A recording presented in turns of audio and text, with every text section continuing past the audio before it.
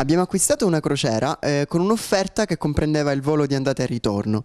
Nel volo di andata ci hanno perso le valigie che ci sono state restituite soltanto a casa al nostro ritorno. La crociera è stata rovinata, eh, la compagnia croceristica si rifiuta di pagarci i danni perché dice che dobbiamo rivolgerci al gestore aereo. È esatto?